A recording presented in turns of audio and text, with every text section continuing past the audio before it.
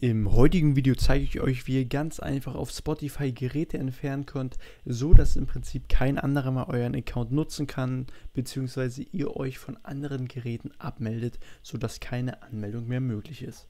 Und zwar dafür können wir einmal hier oben erstmal auf unseren Namen drücken und kommen dann jetzt hier hin und können dann auf Account gehen.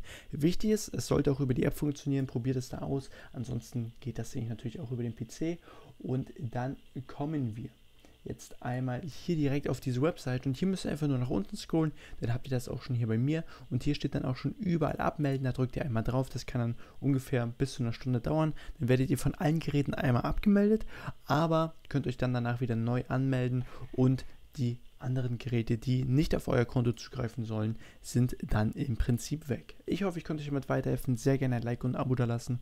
Würde mich extrem freuen. Bis dahin, haut rein und ciao.